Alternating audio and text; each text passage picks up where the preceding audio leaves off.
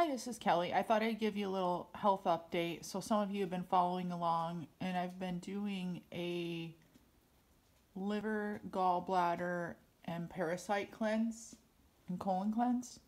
And I've been really sick. Um, I've had a lot of health issues my whole life, but especially um, most recently in the last six months, I have symptoms similar to irritable bowel syndrome.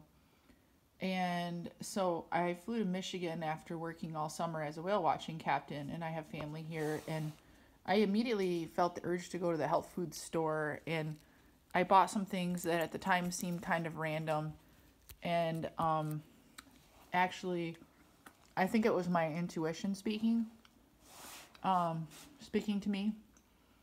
And I also drank um, almost a gallon of apple cider Michigan apple cider within about two days when I first got here. I was just craving it. And come to find out, um, when I started to do all these cleanses, I'm actually full of several types of parasites, worms. So I knew I would have candida. I was pretty sure of that, and I did. And I also passed some really um, rubbery type mucosal lining that protects your intestines from all the toxins that you ingest. Anyways, by the way, as we speak, I'm eating squash seeds from my 96 year old grandmother's squash that I harvested from her garden. And I um, brought them up here to save for seed and to plant.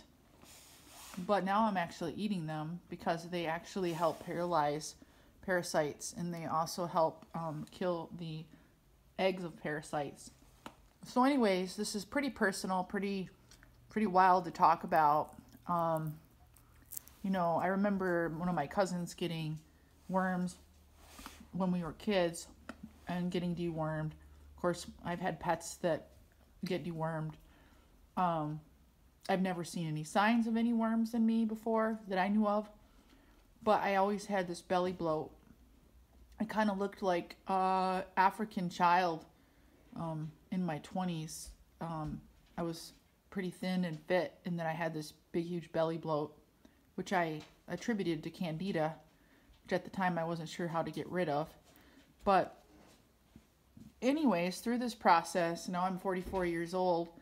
Um, I've been doing my first ever parasite cleanse, and I've had probably over the last week, I would say over three, gosh, probably three gallons of what I think are pinworms come out. And I think there are some different types of liver flukes as well. And I just took my first stool sample to send to a lab. By the way, I was just tested last year for, for intestinal parasites. They came back negative. It doesn't mean that I got them in the last year. I think I've probably had them my whole life. They can also be passed down through mother's breast milk and everything. But as a kid, I was a tomboy and running around everywhere, so who's to say how I got them? But my point for bringing up that it was a negative test result is that they kind of hide. And so I had to kind of activate them by all these cleansing and detoxing um, and killing off of these parasites to have them uh, available now in my stool. And there's some that are still alive, but most are dead. Um, so I just ate a huge round of garlic. I just had, um, it's funny how my body's craving what I need. I just had a bunch of cilantro, which is really good for me. And then I was eating it kind of like just candy. I was just craving it along with some hummus and garlic. And the hummus has tahini, which is made of sesame seeds, which is also good. So I'm doing a lot of things in this protocol, and I could share some of the things that I'm doing. Um, but right now I'm sort of having some die off effects where I feel tired, lethargic, have a little bit of a headache, and um, mentally I'm totally blown away that this crap has been living in me all these years and that uh, I feel violated. These suckers are going to have to go. There's just no other way about it. And life will begin anew. So I just wanted to share my update.